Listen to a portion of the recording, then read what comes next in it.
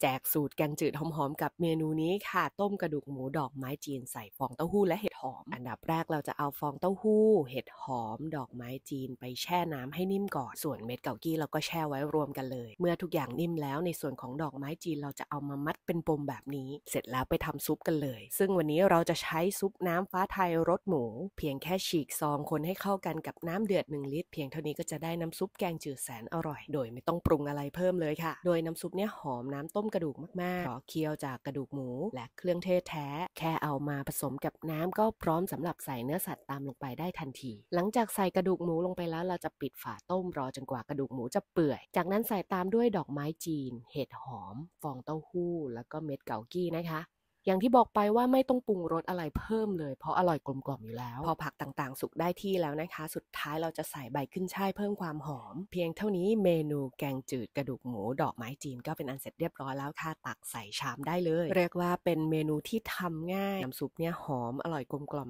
มากๆใครที่อยากจะทำเมนูนี้ตามบ้างหรือเมนูแกงจืดไหนๆก็ตามก็อยากแนะนำให้ใช้ซุปน้ำฟ้าไทย ใช้เพียงแค่หนึ่งซองในราคา 5 บาท ก็สามารถทำแกงจืดได้ถึง1หม้อเจนใหม่ของแกงจืดซุปน้ำฟ้าไทยอร่อยใสๆไข่ไม่มี ซึ่งทุกคนสามารถหาซื้อซุปน้ำฟ้าไทยได้ตามร้านสะดวกซื้อซุปเปอร์มาร์เก็ตหรือตลาดทั่วไปก็มีนะคะ